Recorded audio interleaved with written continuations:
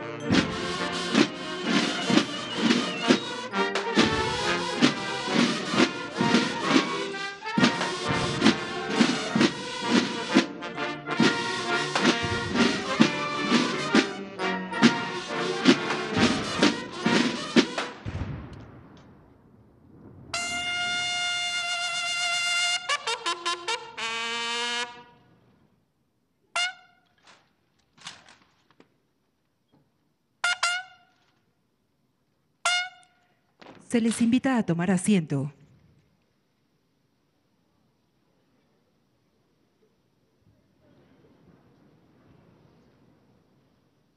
Preside esta ceremonia conmemorativa al centésimo séptimo aniversario de la Marcha de la Lealtad el presidente de los Estados Unidos mexicanos, licenciado Andrés Manuel López Obrador.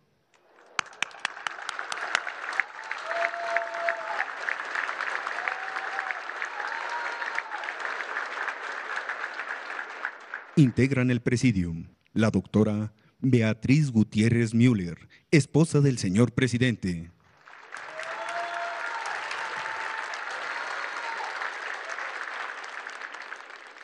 General Luis Crescencio Sandoval González, secretario de la Defensa Nacional.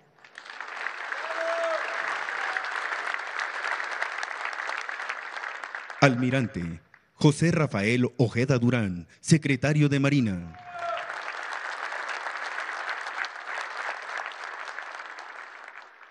Diputada Laura Angélica Rojas Hernández, presidenta de la mesa directiva de la Cámara de Diputados.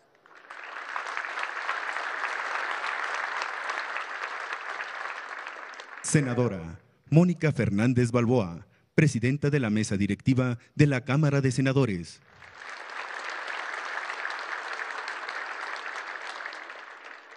Ministro Arturo Saldívar Lelo de la Rea, presidente de la Suprema Corte de Justicia de la Nación.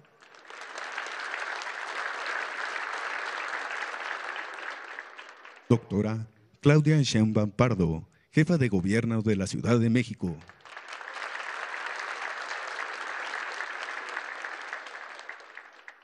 Doctora Olga Sánchez Cordero, secretaria de Gobernación. Doctor Marcelo Ebrard Casobón, secretario de Relaciones Exteriores.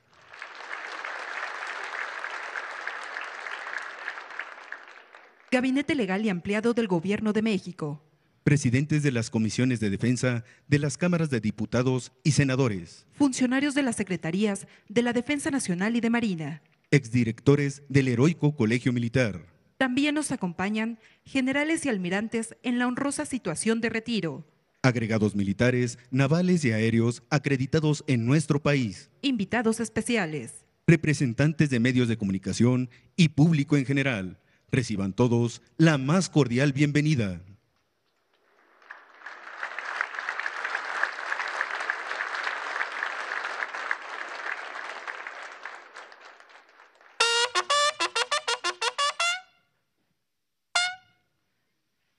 Nuestro comandante supremo de las Fuerzas Armadas pasará lista de honor a los héroes de 1847 y 1914.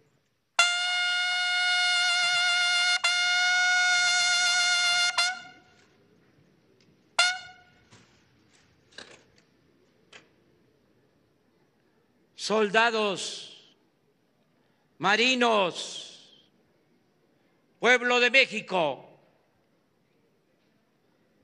Teniente Juan de la Barrera.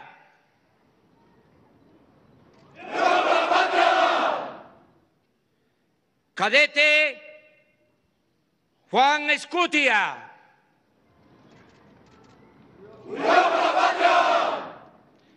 Cadete Agustín Melgar.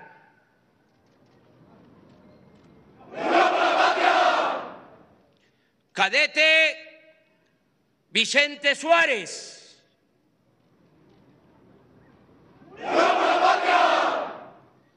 Cadete Fernando Montes de Oca.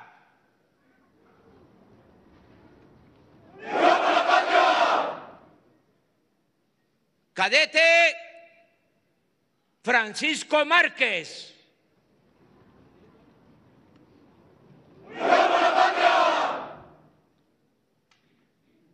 De la heroica Escuela Naval Militar, Teniente José Azueta.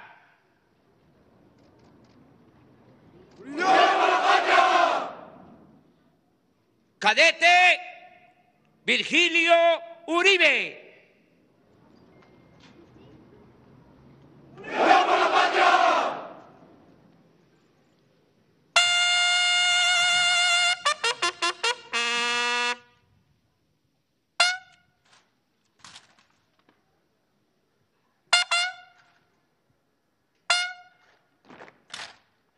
Se les invita a tomar asiento. Escuchemos las palabras que dirige el general Luis Crescencio Sandoval González, secretario de la Defensa Nacional.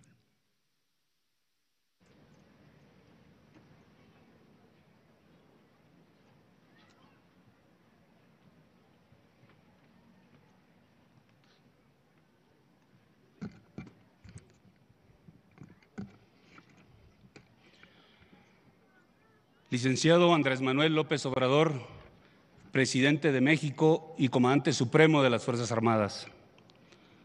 Doctora Beatriz Gutiérrez Müller, esposa del señor presidente de México. Diputada Laura Angélica Rojas Hernández, presidenta de la mesa directiva de la Cámara de Diputados. Senadora Mónica Fernández Balboa, presidenta de la mesa directiva de la Cámara de Senadores. Ministro Arturo Saldívar Lelo de la Rea, presidente de la Suprema Corte de Justicia de la Nación. Compañeros integrantes del Gabinete Legal y Ampliado del Gobierno de México. Doctora Claudia Sheinbaum Pardo, jefa de gobierno de esta ciudad. Distinguidos invitados especiales, compañeros de armas en servicio activo y en la honrosa situación de retiro, jóvenes cadetes y estudiantes de planteles educativos civiles que nos acompañan, público en general, representantes de los medios de comunicación, a todos, muy buenos días. La conmemoración de hechos históricos fortalece nuestra identidad como mexicanos, es sinónimo de cohesión social y hace patente el sentir patrio al reconocer los esfuerzos que en diferentes épocas han hecho grandes mujeres y hombres para transformar a nuestro país en la nación democrática de hoy. Esta fecha en que celebramos el 107 aniversario de la Marcha de la Lealtad, en nombre de las mujeres y hombres de las Fuerzas Armadas, les doy la más cordial bienvenida a este Alcázar de Chapultepec, que el 9 de febrero de 1913 fue testigo del acto sublime de patriotismo de los cadetes del Colegio Militar. Ante la situación inestable que se vivía en esos días por la sombra de la traición y atendiendo el llamado del entonces presidente don Francisco I. Madero, los cadetes no dudaron en escoltarlo de este sitio emblemático a Palacio Nacional, sede del Poder Ejecutivo, garantizando su seguridad. La confianza que depositó el apóstol de la democracia en los jóvenes en formación militar para servir a México fue correspondida con probidad y valentía bajo el respaldo de la ley, defendiendo a su presidente. Esa entereza y determinación es claro ejemplo de la lealtad que nace en la conciencia de hacer lo correcto y jamás apartarse de la norma. Que la lealtad no es circunstancial o eventual, sino permanente y absoluta. Tiene que ver con la solidez de principios que precisan ponerla en práctica junto con los valores que sustentan. En ese sentido, el legado de antiguas generaciones de militares que con su esfuerzo y constancia construyeron las, instituciones armadas nacionales, permite comprender la trascendencia de la marcha de la lealtad y de otros acontecimientos relevantes de la historia que confirman el sistema de valores que guía el pensamiento y acción de los soldados y marinos de hoy. Por ello, el esquema axiológico con que se forma a los jóvenes que año con año ingresan a los planteles militares está enmarcado en la disciplina, honor, patriotismo, abnegación, honradez, espíritu de cuerpo y valor, pero sobre todo en la lealtad. Lealtad que nació en la defensa de la democracia como una convicción fundada en el honor y la disciplina que encausa el comportamiento y la conciencia de todas las Fuerzas Armadas.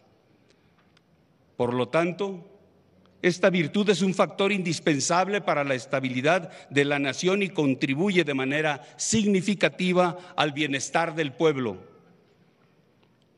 Hoy como ayer defendemos la democracia que don Francisco y Madero instituyó porque sabemos que ese es el camino correcto para avanzar como país y porque su consolidación está fraguada en el sacrificio de valientes mexicanos a través de nuestra historia.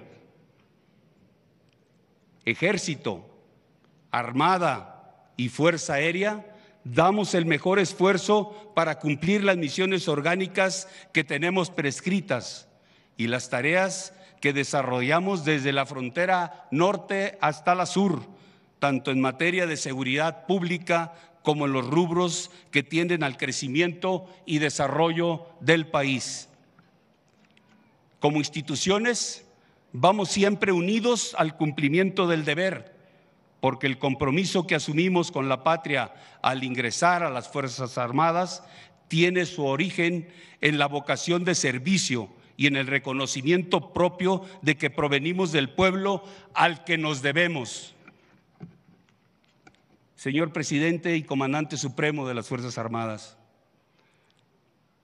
los ideales de paz, democracia, libertad, justicia, prosperidad, engrandecimiento de la patria y bienestar del pueblo por los que luchó Madero, y que respaldaron los cadetes del Colegio Militar en la memorable marcha de la lealtad, siguen vigentes hasta nuestros días y se puede apreciar en su proyecto de gobierno al que las Fuerzas Armadas nos hemos sumado con determinación. Para nosotros, el objetivo es claro, lograr la transformación de la vida pública de México a través de desterrar la corrupción, aplicar un nuevo paradigma en materia de paz y seguridad, garantizar una democracia plena, actuar con honradez, honestidad, justicia y apego a la ley, atender a los más vulnerables sin dejar a nadie atrás, respetar plenamente los derechos humanos y alcanzar el bienestar del pueblo, entre otros acciones que están en marcha y con resultados evidentes. En esta fecha emblemática, para quienes servimos a la patria portando con orgullo el uniforme militar, le reafirmamos que hemos hecho propios los principios rectores de su gobierno, garantizándole que la confianza que usted ha depositado en las Fuerzas Armadas para participar en la seguridad pública y en los proyectos y programas prioritarios de su administración es y será correspondida siempre con profesionalismo, honestidad y trabajo constante, pero sobre todo con lealtad inquebrantable. En toda acción que emprenda su gobierno para el progreso y desarrollo de México, Ahí estaremos las instituciones armadas para acompañarlo, porque la lealtad es más que deseos, intenciones o palabras, se demuestra con los hechos.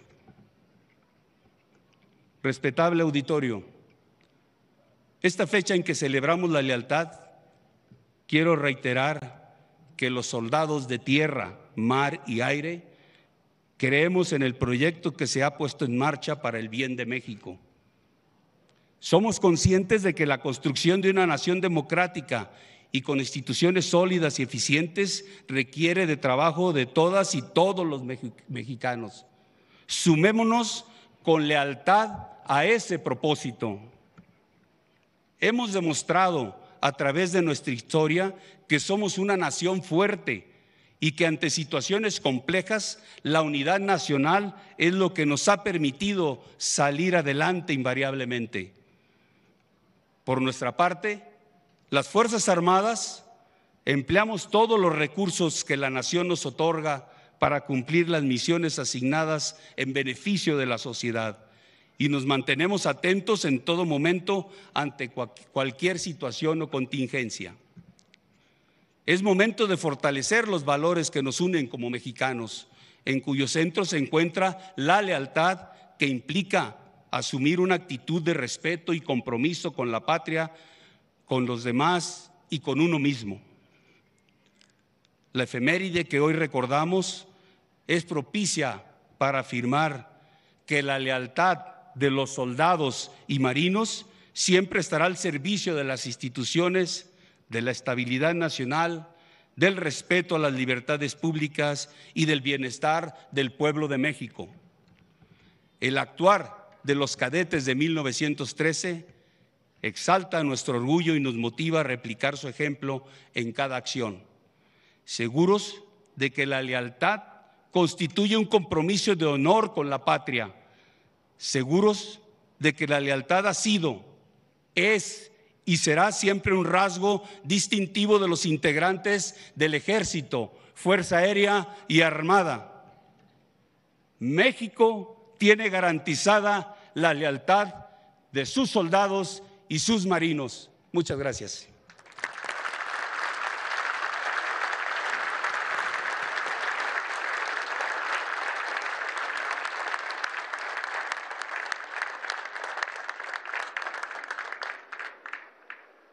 Soy el heroico colegio militar. Mi historia ha sido escrita por aquellos que han forjado su espíritu dentro de mis muros. Soy la suma de las historias de hombres leales y entregados a la defensa de la patria y sus instituciones. Corría el año de 1913. El clima político y social era incierto.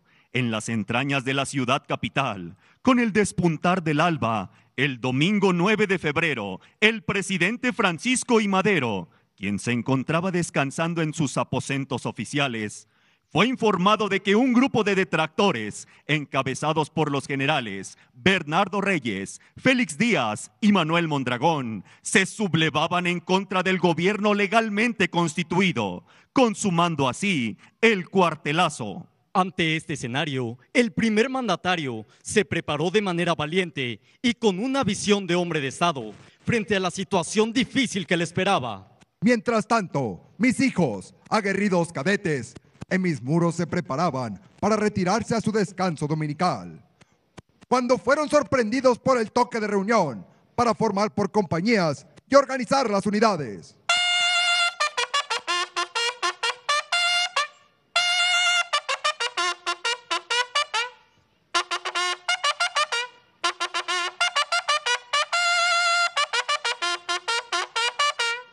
En ese momento, el prócer de la democracia quien aparecía refulgente, montado en su caballo tordillo, para hacer frente a los insurrectos de la patria, se dirigió a los cadetes para darles un mensaje imperante y de fortaleza. Jóvenes cadetes, unos pocos malos mexicanos, militares y civiles, se han sublevado esta madrugada contra mi gobierno. En estos momentos la situación ha sido dominada por el pundonoroso general Lauro Villar, comandante de la guarnición. Y el Palacio Nacional está en poder de tropas leales. Ustedes, herederos de las más puras y nobles tradiciones de lealtad a las instituciones legalmente constituidas, van a acompañarme hasta Palacio de Honor en columna para demostrar al pueblo capitalino que hemos triunfado, derrotando a los infidentes y desleales. Después de este llamado tan emotivo, creció un remolino de emociones en cada uno de los cadetes, quienes después de armarse se mostraron dispuestos para entrar en combate y ofrendar su vida, en caso de ser preciso, en defensa de la soberanía. Se organizaron dos columnas al lado del presidente Madero, con el fin de romper marcha por la rampa y alcanzar Palacio Nacional para restablecer el orden institucional. Emprendida la marcha, a lo largo del trayecto, los cadetes resistieron estoicamente los embates de los insurrectos, protegiendo en todo momento la vida del egregio de la democracia. Durante este acompañamiento, el pueblo se unió con los cadetes para preservar la seguridad del presidente y del orden constitucional. Este hecho de gran trascendencia representa una hazaña épica del heroico colegio militar y una clara muestra de cariño del pueblo, quienes inspirados por el cumplimiento del deber, por los valores éticos y por la lealtad a los principios morales, se sacrificaron por la defensa de las instituciones y por el honor de México.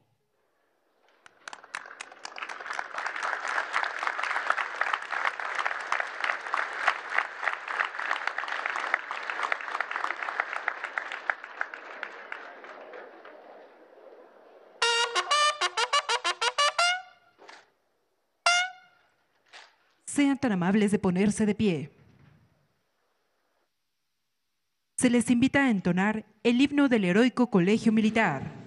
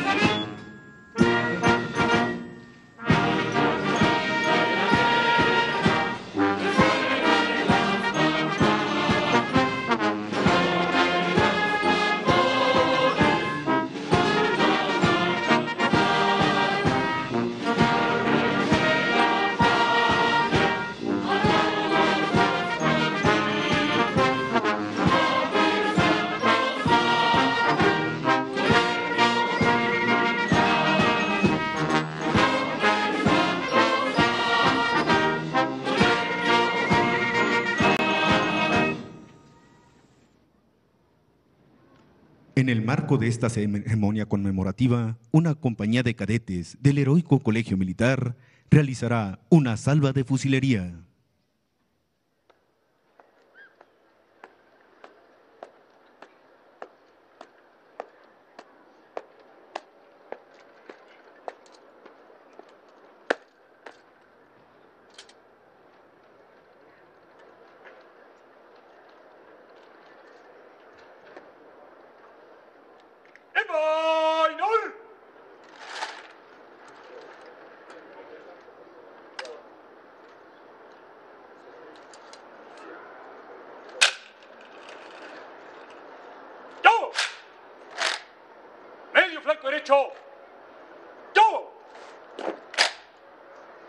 Posición, tirador de pie.